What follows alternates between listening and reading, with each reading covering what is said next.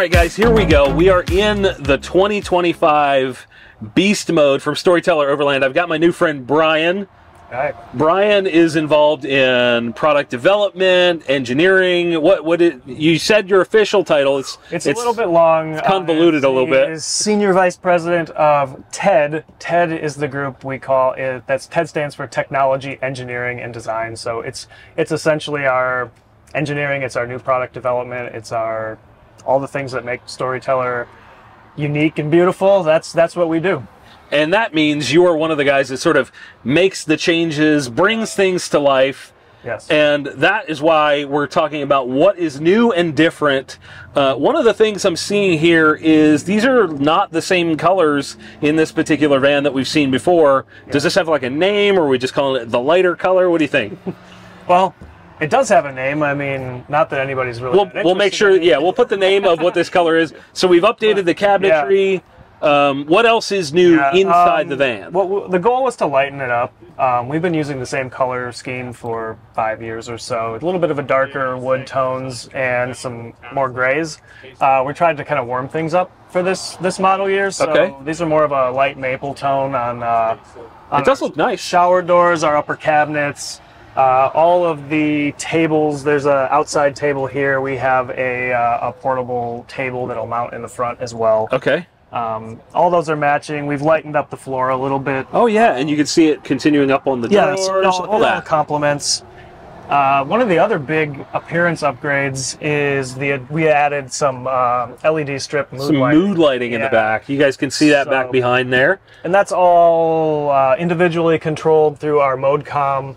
Um, That's up yonder.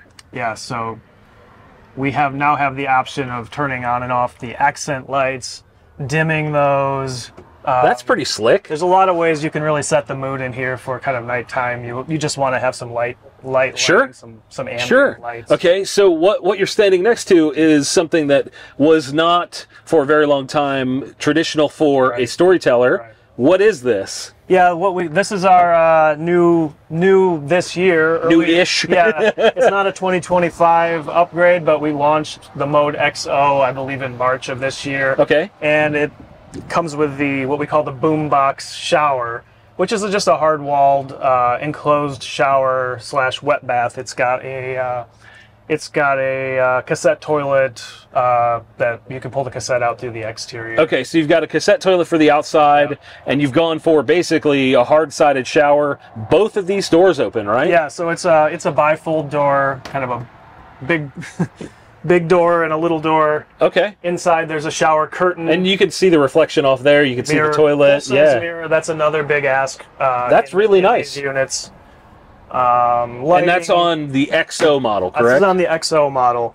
Uh, we're calling our traditional, our kind of classic model, the OG now. Okay.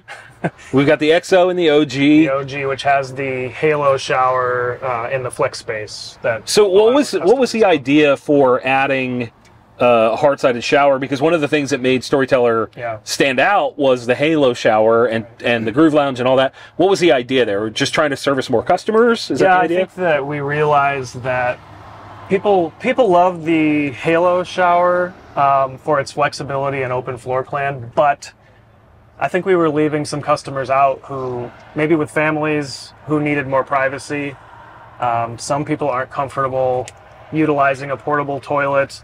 Um, Sure. some people feel more comfortable with hard walls and a door uh, Sure, when yeah. they're using the restroom. So Yeah, everybody's this is- got their own comfort this levels. is for and- everyone else and i mean a lot of us have wives my wife is uh, has has made it clear to me that uh, she would not u- utilize the portable Sure. toilet ever so um, i think that's not uncommon and so we wanted to make sure that we had a storyteller mode for everybody I dig it. I, I think that's totally fair. I think it's totally reasonable. And right here to my right, this was uh, what you guys called the Groove Lounge. This would fold flat in that other model. What's how's this work now? I'm going to step back a little bit. Yeah, I mean the great thing about the Groove Lounge is it's an additional seating, uh, sleeping spot. It completely folds flat. Okay. Uh, unfortunately, with a hard wall right here, you're not going to be able to fold it flat um, in in this instance. So we came up with a new seat. We call this the electric slide uh, because it slides and it has an electric recline. Okay. So what you have here Show me, is show me this. This Yeah. is this is pretty slick. so where the um, the Groove Lounge is a true bench. Um, it seats two. This is two individual seats. Oh, okay. So each seat slides individually, forward and back, and the aisle seat slides out. So Oh, I see. You know, when you showed me that earlier, I did, I thought they both Yeah. they both came out together. Yeah, so this one stays against the wall. It does not slide. This one gets slides out for more leg room. So um, one of the things we hear on the Groove Lounge is it's great for kids, but if you seat two adults, you know you're really you're you're sitting pretty tight. So this is great for our bigger kids, even kids who just need to get away from each Yeah, just a little bit of space. you know, they're they're fighting or Yeah. each other and all that. Yeah, I get Yeah, it. That so makes it- sense. It really um, it's And a then really you said the, these recline as well. Yeah, Can you show me that real quick? yeah. So if you so you move it, that's bump it out far, just a touch. It's a little far forward, but I mean, each one, each one will. Look at that. So the further forward you go, the more you can. Sure, recline. So sure. you get, So, not a. it- It's not like a what I would call a half-assed replacement for the Groove Lounge. It's just different. yeah, I think I think these are very comfortable seats. Sure. Um, I, I think it's a great. And they are belted. Is this crash rated? Yeah, everything we everything with a everything is belted and pull tested per. That's see, that's the key. Is that they're usable. You know what I mean? Like you're not just going, "Hey, we put seats there." They're actually usable. Yeah, the other another thing that maybe you, if you come around you can see is we snuck a couple of uh, cup holders in between the seats. Oh, that's cool. One of the other things we hear on the Groove Lounge is there's nowhere to put your drinks. So um, there aren't a lot of places to, Yeah, hide, there's- to I mean- hide cup holders. so I mean that we took the opportunity to utilize, utilize the extra space between the seats. So- Okay. All right, guys, we're here talking with my new friend Adam, and he's going to explain to us the new advanced suspension that is on the new 2025 Beast. Can you tell me why you guys shifted over to this? What's good? What's bad? Etc. Uh, we, we can try. So Okay, we're going to attempt that. We're going to attempt. Um, so we, we went down this route for a, a few different reasons. Um, uh, one reason is we uh, we definitely like the to maintain as much of the factory Mercedes uh, geometry and how the everything works as possible. Uh, to keep our friends at Mercedes happy. Sure. Um, so we maintain the factory leaf springs with vulcanized bushings, uh, keeping everything that is uh, in, to the Mercedes specs. So we've got the factory leaves, and you add the, the bushings, or are they The- a no, factory the- part as well? The fa- the bushing, the vulcanized bushings are a factory part of the leaf springs that hold everything in. Squeaks, rattles, pops, and rolls. Got are, it. Are Mercedes, so they don't happen. Sure. We are adding in uh, weight carrying capabilities and uh, you know roll control and stability of the vehicle by adding a coilover shock to it. Okay. So the spring rate is being added in by a coil spring. Oh, I see. added in instead of messing with the factory leaf springs. Um, so this moves uh, moves the geometry over. Has uh, adjustable preload settings, so the the preload can be moved per how much weight you're carrying. Because let's face it, most people like to go a little over the uh, recommended Yeah. weight Yeah, of, no of these no vehicles. Uh, so that has a little bit of adjustment to it. Um, it's all bolt-on bolt-on brackets that added into it. We're not cutting any holes. We're not adding in, you know, drilling and bolting into sheet metal trying to get stability to the van.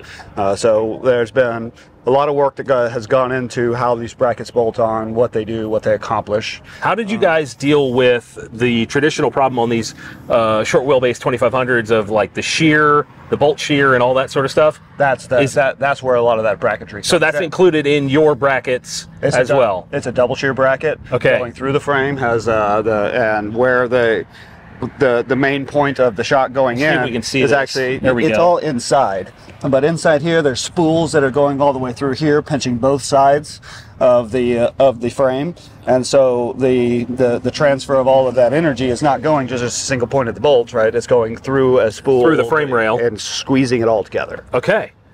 That's really cool. So you're knocking out the sort of weight compliance uh, issues that some folks have, the sort of rock and roll with a heavier van as it, you know, you're going down the road and, you know, let's face it, we're in Indiana, the roads here are not great. They are not. They're not great. They neither. They aren't in the south either. Shout out, yeah, exactly. Uh, shout out to all the terrible roads Yes. that are like Fallujah instead of the U.S., right? That's right.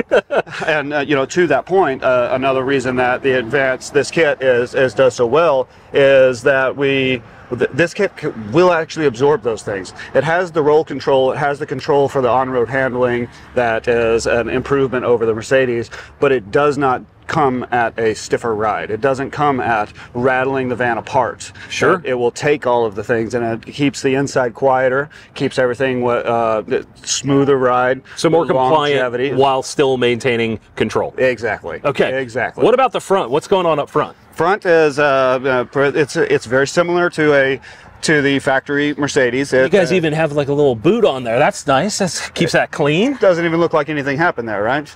Um, uh, but uh, this is uh, basically just a valving upgrade. Um, Okay. So for, for the advanced kit, the advanced kit is a valving upgrade that does all the same things as the rear. Uh, there's no spring rate added. There's no nothing added to the front that changes the geometry. Um, you know, nothing putting CVs at risk or anything like that.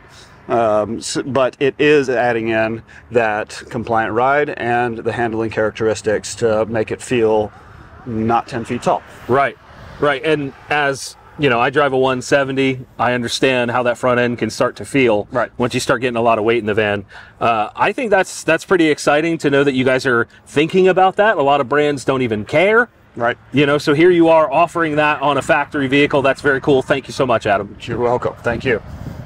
All right, guys. Another thing that is new for the 2025 is this new bumper. We've got Ryan from Flarespace, good friend of mine. He's going to explain this to us and tell me why this matters. Ryan, take it away, man. just as Jon said, this is the new Invader brush guard coming on all the 25 beasts.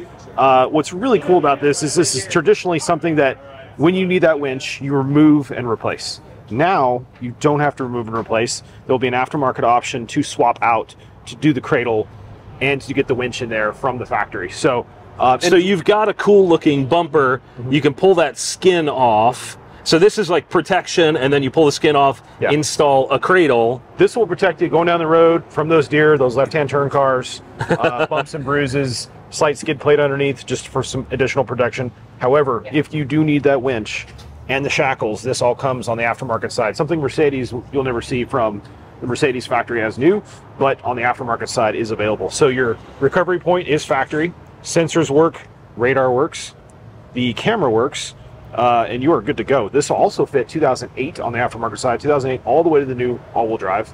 Uh, the 2x4s, the 4x4s, the 3500s, the brackets are all available. So this is something somebody could buy from you if they're out there building a van and it's like, hey, I want a bumper, but I'm not sure if I want a winch and all that. And this bolts up to the factory stuff without causing. without causing issue or panic. Uh, it's also a very simple install. Just itself, the bumper itself, the fascia piece, is just six bolts. You're not actually having to remove the fascia itself. Um, so Right, like the one that the one that I have is a pretty involved install. it's a different thing, but this is sort of a factory plus, OEM plus kind of upgrade. Yeah, and just like our old bumper, uh, it'll retain its seventeen hundred dollar price bracket area, which Okay. is unhold, un, unheard of in the uh, in the bumper area. Usually, you're in the three thousand dollar bracket, and uh, you're in the six hour install, so it's a heavy investment. Um, getting the protection on these front of these vans is crucial. Uh, you've got a little bit of aluminum, a little bit of plastic protecting your radiator, DEF tank, LED headlights. Uh, this takes care of that, and if you want to step up to a winch, it's all there for you. Okay, thanks, man. No Problem. And in terms of exterior upgrades, we've got a few new offerings. Uh, I talked to Ryan about the front bumper, and I talked to, I believe it was Adam, about the new suspension. Yeah. What else is going on? Uh, the the new sort of standards, upgrades, etc. Um, you know, one of the one of the big things we were looking to do was do some aesthetic updates. Um, we haven't made any significant changes to our graphics for a few years. We haven't really change the exterior look, so we, we do have some graphics updates. Um, Okay, so some new bit- color offerings, that sort of thing. Yeah, some different color offerings. There's a little bit of a, a similar beast stripe that people know and love, but with a little bit of an upgrade, a little tweak, so that you know it's you know it's different. And you guys have done that with the classic Yeah. and the the now we're calling it the dark, Dark mode. right. I did see those. We we took a look at those here. I saw what are new to me running boards. Yeah, the running boards were a 2024 update on the beast mode only. So uh, in 2024, we added owl running boards and an owl um, The box on the rear. box. Yeah, the big owl box. Okay, and now uh, this particular van has Yeah. a Flarespace ladder. Yeah, is that so correct? We've, uh, Flarespace has got a new ladder, um, and we are installing it on our beast mode only uh, for this new for the 2025 model year. Um, it's it's a really nice ladder. It it has um, D-shaped rungs with kind of a a little bit of texture on yeah uh, yeah so anti-slip. So that it's just a really nice, very functional functional ladder that I think will it highlights. Sure. it's just a. Yeah, it's a good ladder. it's a good ladder. Yeah. Yeah, it doesn't need to be. It's a ladder. I mean, how Gets you- complicated can it, be, right? From the ground to the roof. yeah. Which is I, I find that what uh, more could you ask for? I find that some people like to make the ladder try and be more than it actually is, and uh, Yeah. I'm glad that you and I agree that it doesn't need to be more Yeah. than a ladder. Yeah, it's it does what it's supposed to do. Right, It's- right. It is a new ladder. Um, So, in, in terms of exterior things, are there any other upgrades? Um, just a couple that- of little aesthetic things. I mean, we we showed you, and maybe you'll show some some images of. We did a little uh, we did a little light cover. uh, Yes, I did get some footage of that. KC lights. We did a little uh, collaboration with KC and our Are the design are the. KC lights now standard on these fans, or is that an Beast addition? modes. It's it's Okay. standard on beast mode. So you Okay. get a full. There's an eight bar, eight light bar on the roof, and then uh, two lights on the brush guard, plus a full spots. Like complement of lights? all Yeah, yeah, yeah. Yeah, it's got a lot of lights, but the you know the light bars we we just kind of toned the color down to a little something that's a little more complementary with us. Sure. And there's a little bit of storyteller flair built in there. I like it. well. I like it. Now, has that changed the MSRP significantly? You know, making these changes, or is it uh, about? I know you have to kind of increase yeah, with. I, I don't think the upgrades have been. I mean, we're, we're you're going we're going to see price increases. Um, It's kind of a natural thing. kind of an annual percentage increase. We have to absorb things like the cost of the chassis goes up for us every year. Right. The upgrades, you know, we, we do, in addition to adding things, we're always looking to kind of engineer out cost as well without, you know, losing any functionality for the customer. So Right. we try to offset the additions as much as possible with other. So Other- this shower that I'm standing next to isn't costing me an extra like 90 grand. No, I mean, uh, you can tell, you can see the difference. You can look at the delta between an OG and an XO, and you can kind of say, like, that's how much the shower, Sure. how much more the Sure. shower costs us actually. It does add a, a level of complexity. It's not. I don't have all the prices. Sure, in front sure, of me that's right okay. now, but um, it's not. It's not a significant increase over the, the standard. Well, Brian, I appreciate it, man. I think this is really cool seeing the the sort of fresh version of this thing. Uh, if people want to learn about it, the website is storytelleroverland.com. That's it. Heck yeah. Thank you so much, man. I appreciate you. Cool. Thank you.